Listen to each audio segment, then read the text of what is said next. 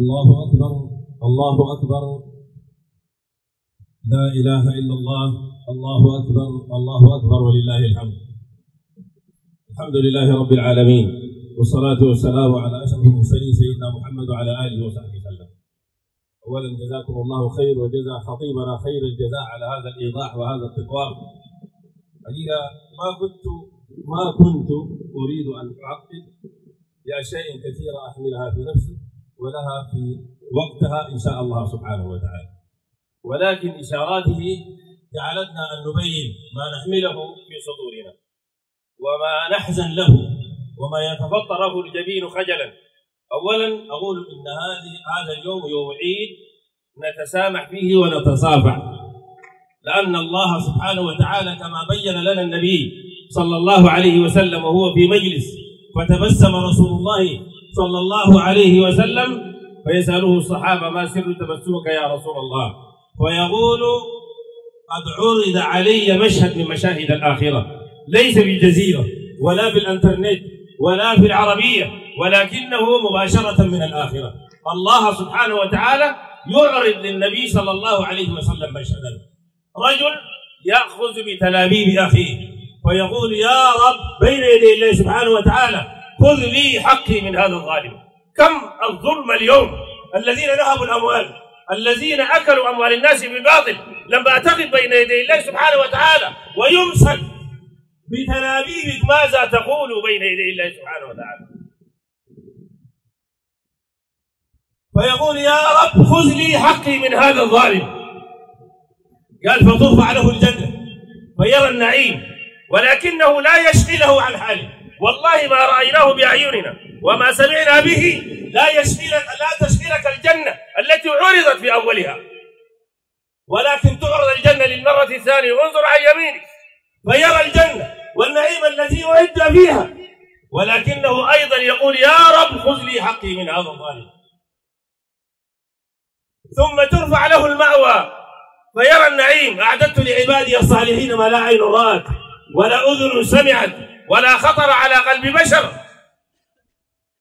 فيرى النعيم الذي أعد فيها ويقول لمن هذه يا الله؟ وما ثمنها؟ ويقول أنت تملك الثمن. فما ثمنها؟ ثمنها بعفوك عن رقبة أخيك. ويقول يا رب أشهدك وأشهد بأني قد عفوت عنه. بأني قد عفوت عنه. لأن الله سبحانه وتعالى قال وسارعوا إلى مغفرة من ربكم وجنة عرضها السماوات والأرض. أعدت للمتقين الذين ينفقون في السراء والضراء والكاظمين الغيظ والعافين عن الناس والله يحب المحسنين. فيقول له الله سبحانه وتعالى لن تكن أكرم مني. خذ بيد أخيك وادخل الجنة. هذا هو العفو خذ بيد أخيك وادخل الجنة. فيقول النبي صلى الله عليه وسلم أيها الناس إن الله يصلح ذات البين في عرصات القيامة. فأصلحوا ذات بينكم. كم نحتاج أن نعفو عن بعض؟ عن هذا الظلم؟ والله ما رأيته بأم عين كنت في الخرطوم. من قبل أن تنشعل هذه الحرب بلعنتها. فاسأل الله في هذا اليوم المبارك أن يرفعها عنا ويرفع هذا البلاء. ووالله نقول إنه بما كسبت أيدينا. أنا متأكد كثير من الناس الآن. هذه الخطبة والكلام الذي يغيب ما دايرين لأن الأموال دخلتهم ولأنهم يشجعون الدعم السريع. أتغب على الباطل؟ ماذا تقول بين يدي الله سبحانه وتعالى؟ كثير تململوا الآن. كثير منا تململوا بل منهم من ذهب الآن.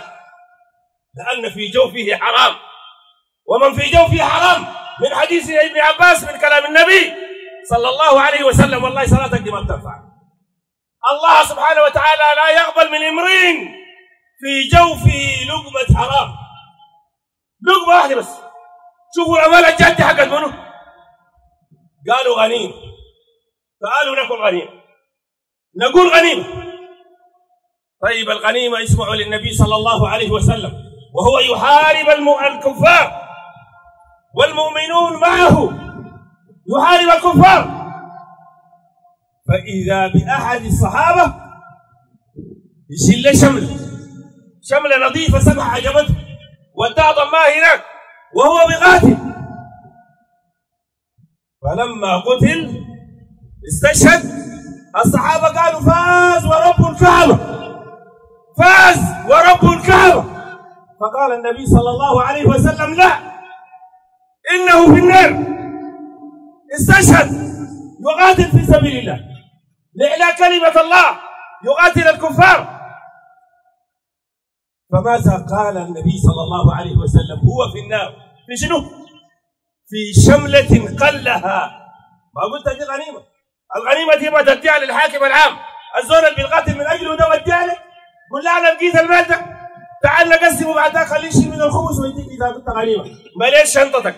ومليت جيوبك. وجيت هنا. أدخلت علينا الحرام. وأدخلت علينا البلاء. ووالله أقولها لكم. إن لم ننكر. ولم ننكر الحال الفاعل ماشي فينا ده. انتظروا بلاء. المطر شايفينه بيشيلوا ما بيده والله لو ما رجعنا. ربنا قال شنو؟ لعلهم يرجعون. ده بما كسبت أيدينا عشان نرجع. ونتوب.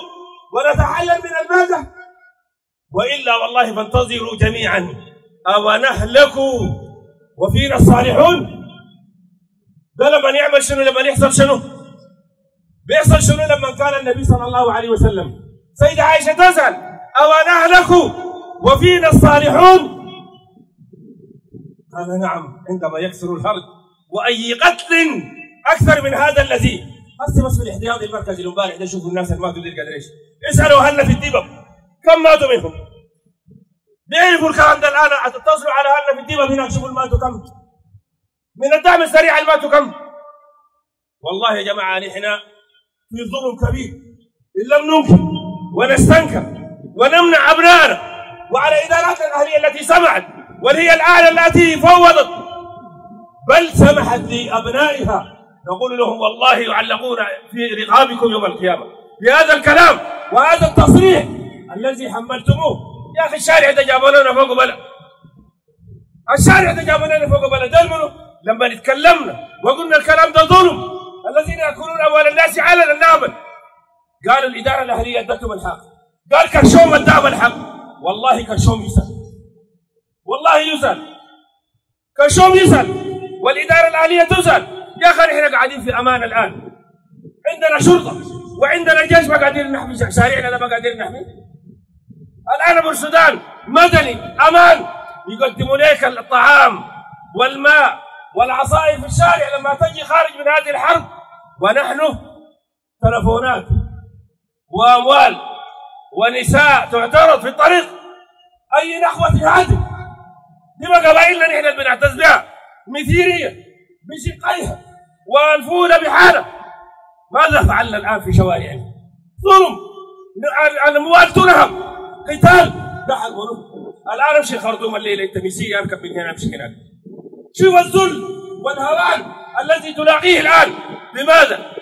زايدين نساء اقتسمت مسيريه أموال نهبت مسيريه والله رضيت ما لابد أن نصحح هذا المفهوم. لابد أن نعود ونرجع إلى الله سبحانه وتعالى. الليل أمشي أنت هنا وأقول أنا ده أنا مسير زي ما قبل كنت بتعتذر وتفتخر. يقول لك أنتوا ليه؟ ده كله شاهدنا حاضر وسمعنا بما حدث. ودي ابنائنا وأنتم ما بتنكروا الكلام ده. أبنائكم. بني جدتنا إخواننا. مشوا منا الفولة دي. وجابوا أموال الآن. وبيكرموا لهم. قلنا لهم لا لا تتعامل معه. لا تشتري منه. لا تبيع له لا تأكل طعام. سمعت كلام النبي ولا ما سمعت؟ لا تصاحب.